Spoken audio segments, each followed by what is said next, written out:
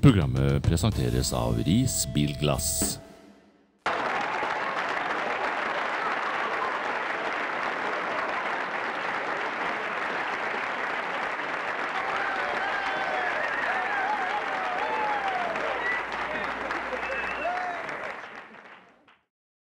Kjell Asperud, God dag.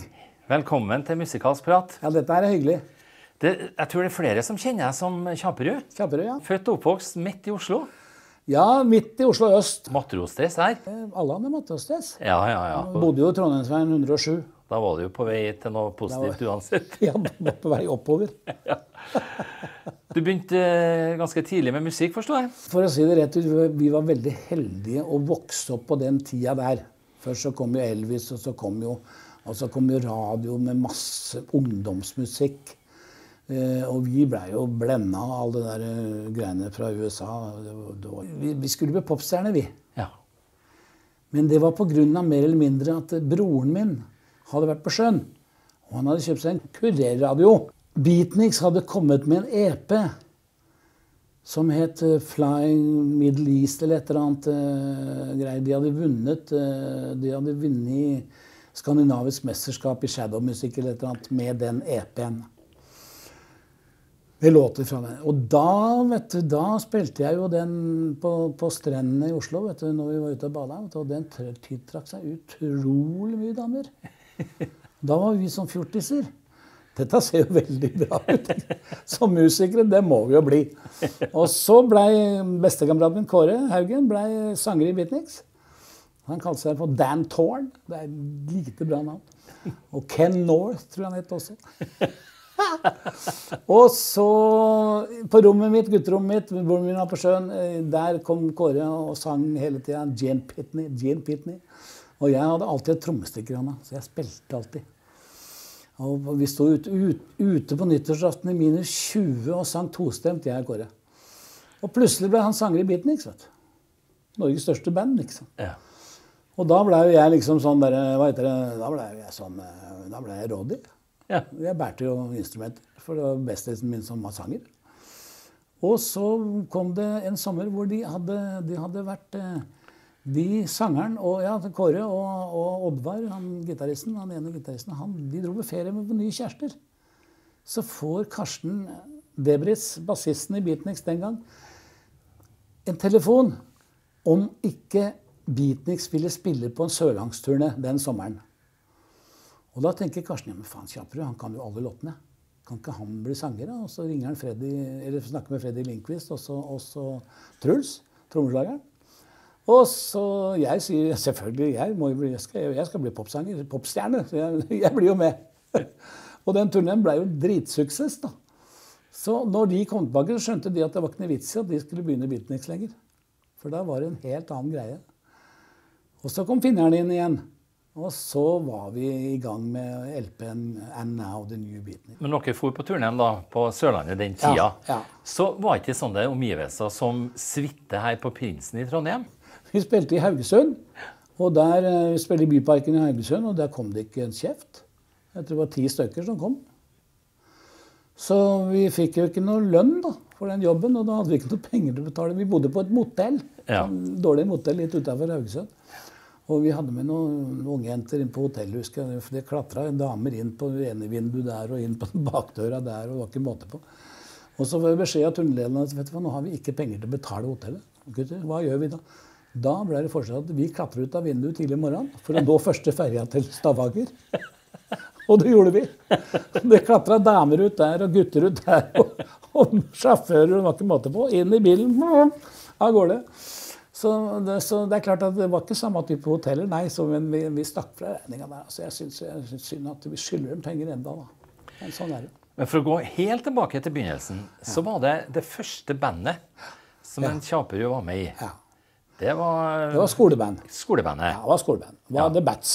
Der uh, spil, spilte jo gitaristen som gikk i klassen min, Svein Hansen. Han er jo en en legende innen, innen norsk musikk fremdeles. Og uh, han, med, han spilte med Sapphires, med han uh, Little Earl. Ja. Med Sapphires.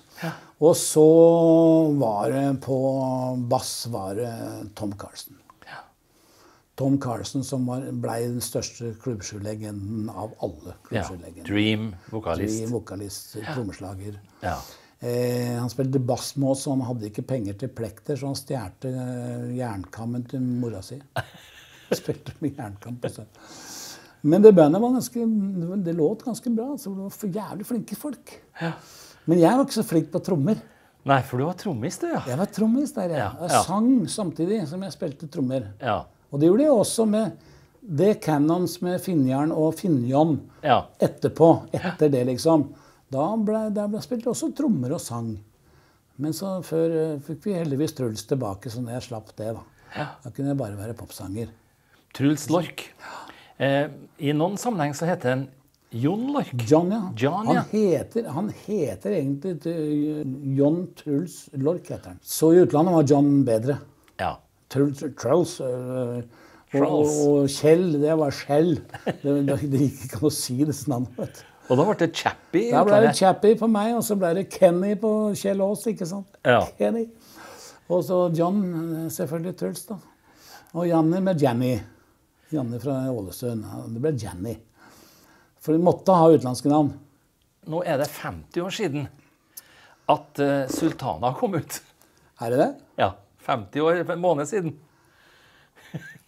Da sier jeg bare 'jøssa navn', sier jeg. er det så lenge siden? Ja. Fortell litt om eh, overgangen Beatniks og Titanic. Vi hadde bestemt oss vi skulle bli store. Ja. Eh, En ting som var viktig i mitt liv, var at, var at, at jeg, skulle, jeg skulle alltid være, se bra ut. Jeg skulle kle meg ordentlig. Jeg skulle se ut som en popstjerne. Ja. Så når jeg kom inn på en kafé et eller annet sted, et eller annet land, skulle folk spørre hvem er han. Ikke sant? Ja. Og, eh, og det funka veldig bra. Vi så jo veldig bra ut. Og så, og så låt bandet veldig bra. Så var, begynte vi å bli veldig populære i Danmark. Og da flytta vi.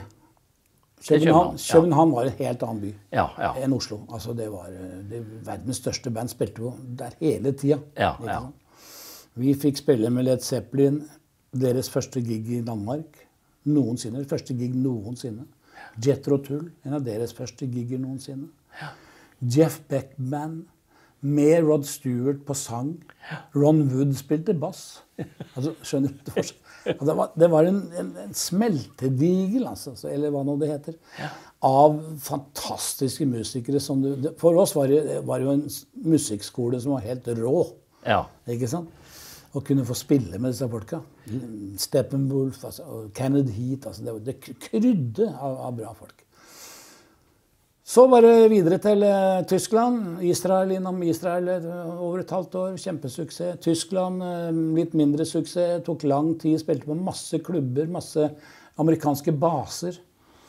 Og etter et år der uten noe penger, uten noe som helst, og liksom, så fikk vi med Roy, sangeren, han nye sangeren.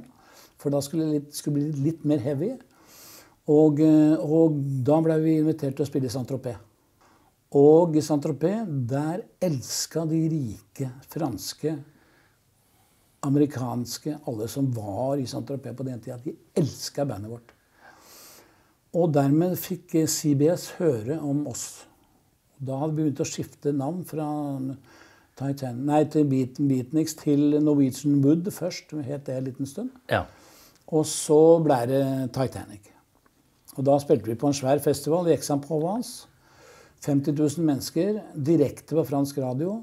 Og da sa fransk radio at Titanic vant den festivalen. Og der, var, der, var, der spilte Deep Purple, der spilte Leonard Cohen, der spilte altså, Det var masse svære navn.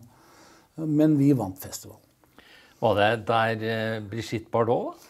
Ja, det er i Saint-Tropez. Brigitte Bardot hun, hun, hun manka på klubben eh, sammen med så mange andre kjente skuespillere. og Vi spilte på i Saint-Tropez. Og der, det, altså, det var bare sånn. Man tenkte ikke på at det var verdens mest kjente mennesker som satt og hørte på. det.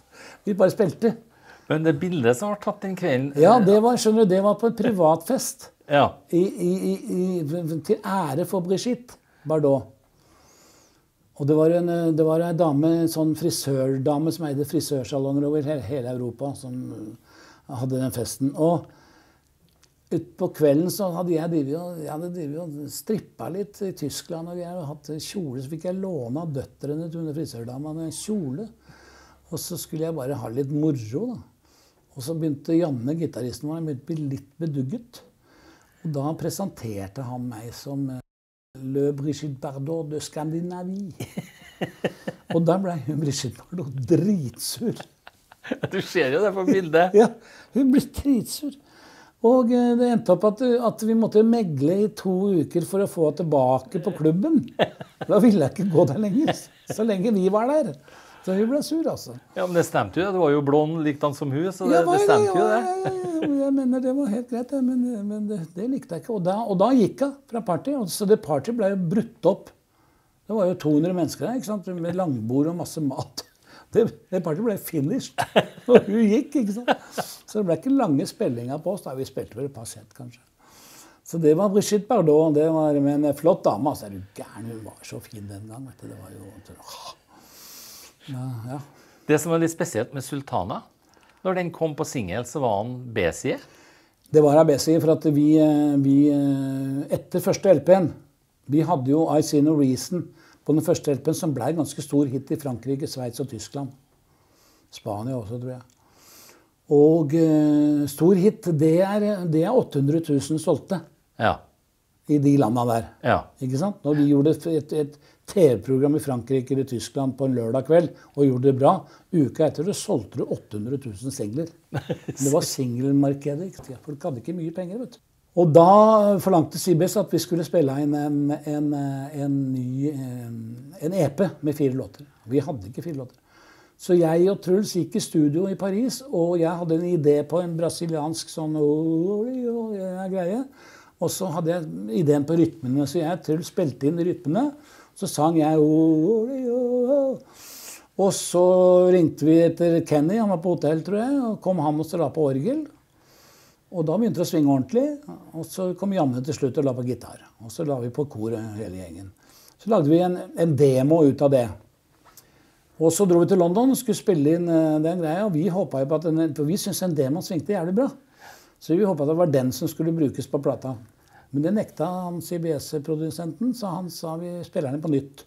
For han, likte hele pakka låta også. Og da, da spilte vi inn den eh, på nytt i London, og det var den versjonen som blei hiten. Ja. Vi syns ikke den låt så jævla bra. Når de hadde miksa den, og sånn, og sånn, så tenkte jeg faen, det er ikke samme atmosfæren som vi hadde i Paris. Men det var den som ble hiten. Men fins den versjonen fra Paris, da? Nei. Den gjør ikke det, nei. Det kan jeg aldri tenke meg. Eller jeg veit ikke. Det er et godt spørsmål. Var det tilfeldig at, eh, at låten het Sultana Santana? Hadde du begynt å Ja, gjøre det? ja, ja, vi spilte jo en del Santana-låter. Hva skal vi kalle den her? Det er jo mye rytmer. og så, Da sier jeg den må hete Sultana. Og det verste, eller verste er jo jeg, mange, mange år etterpå, så, så får jeg vite at eh, den største båtulykka i verden var en båt som het Sultana. Som gikk ned på Mississippi med 3000, over 3000 som forsvant i, i, i sjøen. Eh, men det var samme uka som Lincoln ble skutt. Så det sto ikke noe om den båtulykka i avisene. Å nei. Ikke sant? Og så het vi Titanic. Og så kalte vi låta Sultana.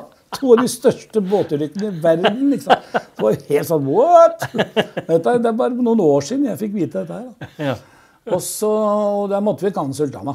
Ja, vi syntes det var eh. Og så skjedde det med at den lå på Den var ute som B-side uh, lenge i England. Og så plutselig så begynte eh, gutta på Radio Lux å spille Sultana. De hadde slått over til litt mer dansbar musikk på Radio Lux. Og så Emperor Roscoe, som var liksom en av de store DJ-ene på Radio Lux, han hadde begynt å spille som DJ på de store ballrooms i Nord-England. Der var det alltid bare band som spilte. Beatles spilte på ballrooms. Alle spilte på ballrooms. Ikke sant? Men plutselig så var det DJ-er. Og han begynte å spille Sultana, og det ble en furore i Nord-England. Så bare spredde det seg. Og så var det pang inn på listene.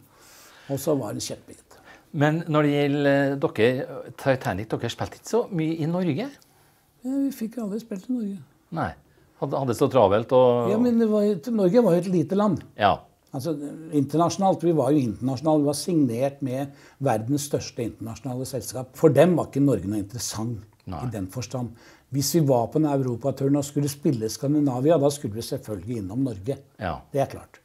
Men det blei aldri til, det. Utenom denne idiotfestivalen på Ragnarok eh, hvor alt skjærte seg. ikke sant? Vi, hadde, vi, hadde, vi var på et turné i England, vi hadde én dag fri. Vi skulle, de de hyra inn et eget uh, privatfly til oss. Uh, og så videre og videre. Og sendte Telefaxer, var telefax eller hva nå det heter. Telegrammer. Ja. Hva nå det het den gang. Fram og tilbake. Skal vi ta med backlinen vår? Nei, det behøves ikke. Alt, alt er oppe og står her. i- her i, det, vi ordner alt i Norge. Vi hadde ikke en drit. Så da sier han engelskmanageren dette her det er bare tull. Hvis ikke dere får spilt sånn som dere skal spille, og låte sånn som Titanic skal låte, da skal dere ikke spille her. Nei. nei. Og vi hadde ikke utstyr til å spille på heller. Jeg jeg hadde ikke noe perkusjon. Truls hadde ikke de trommene han hadde bestilt. Hadde ikke orgel vi hadde bestilt. Altså, det var ikke noe av det vi hadde bestilt. Men i dag, originalbesetninga, hva, er- hva er det som er igjen av de musikerne? Nei, nå er det bare meg og, meg og Kenny og, og Truls, da. Ja. Janne og Roy er dessverre gått bort. Ja. Så, så det er klart, man blir jo, man blir jo eldre. Vi har jo kunnet sitte her og prata dagevis, Ja, ja, ja. men eh, vi har jo vi har jo 25 minutter. Men dem som lurer på hele historien Her, My book. Your Book, som eh, kom ut nå i høst. Ja, kom ut nå. Ja. Kjaperud. Ja, Det er alle fortellingene om fra min barndoms oppvekst på Oslo øst, arbeiderklassen, til superstjerne i utlandet med Titanic.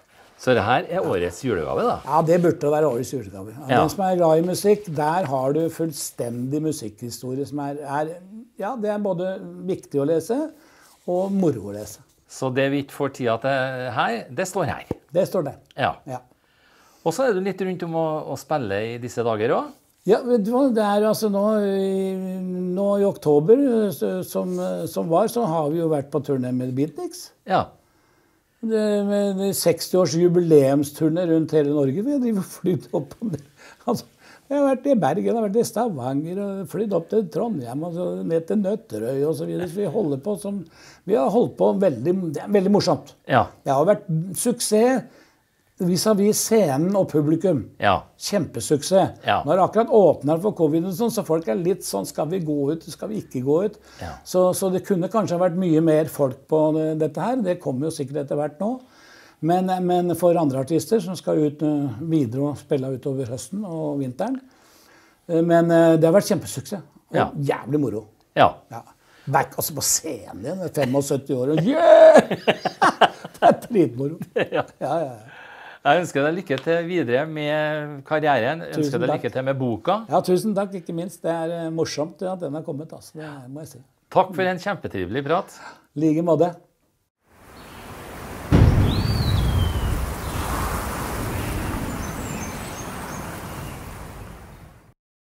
Programmet presenteres av Ris Bilglass.